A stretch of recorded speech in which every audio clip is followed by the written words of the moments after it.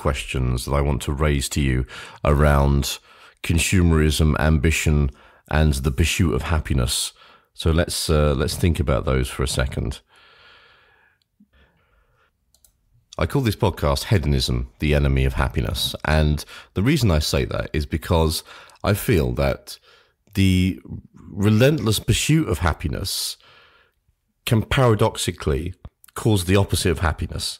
And this is where our culture plays into our hedonic adaptation in a very negative sense. So when we look at happiness through this hedonistic lens, we see each pleasure, each reward as a fleeting thing. And our and we are fundamentally left after every reward, every every moment of happiness, we are fundamentally left with this deep sense of what next.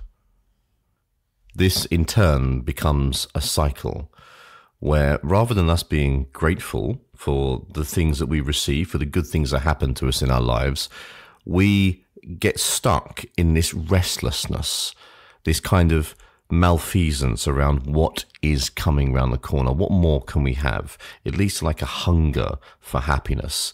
And that hunger, that restlessness, invariably doesn't make us happy.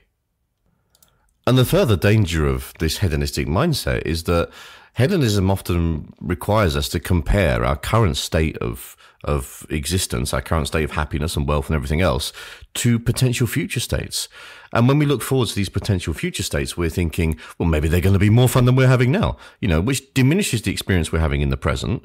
And then we attempt to drag, drag the potential future pleasure into the now in a horribly comparative way, which just leaves us with this idea of of everything is only always ever slightly out of reach.